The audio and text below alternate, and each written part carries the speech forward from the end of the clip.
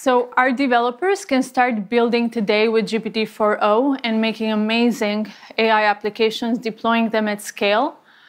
4o is available at 2x faster, 50% cheaper, and five times higher rate limits compared to GPT-4 Turbo.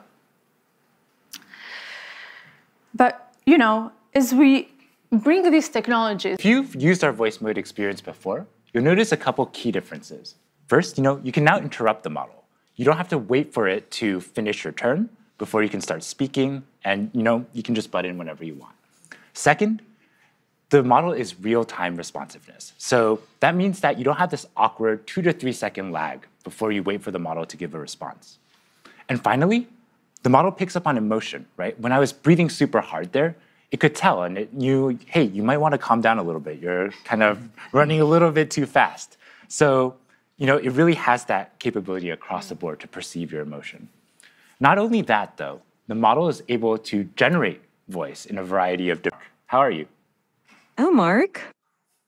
I'm doing great. Thanks for asking. How about you? Hey, so I'm on stage right now. I'm doing a live demo, and frankly, I'm feeling a little bit nervous. Can you help me calm my nerves a little bit? Oh, you're doing a live demo right now? That's awesome. Just take a deep breath and remember, you're the expert here. I like that suggestion. Let me try a couple deep breaths. Can you give me feedback on my breaths? Okay, here I go. Whoa, slow do a bit there. Mark, you're not a vacuum cleaner. Breathe in for a count of four. Okay, uh, let me try again. So I'm gonna breathe in deeply and then breathe and then out for four, and then exhale slowly. Okay, I'll try again. Breathing in. And now, what do you get when you subtract one from both sides?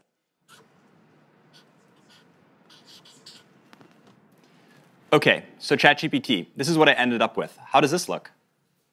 Spot on. Now you've isolated the term with x on one side, and it looks like 3x equal 3. What do you think we should do next to solve for x? I'm not sure. Can you give me another hint? Of course. You have 3x and you want to find the value of x. Think about what operation would undo multiplication. Is it subtraction? Close, but think of the opposite of multiplication because 3x means 3 times x. Okay, I think it's division. Let me try to divide both sides by 3 and let me see what I get. Bingo! Go ahead and divide both sides by 3.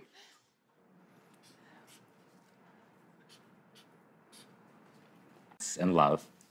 Oh, a bedtime story about robots and love? I got you covered. Gather round, Barret. Once upon a time, in a world not too different from ours, there was a robot named Byte. Byte was a curious robot, always like exploring. started this story, but I want a little bit more emotion in your voice, a little bit more drama. Got it.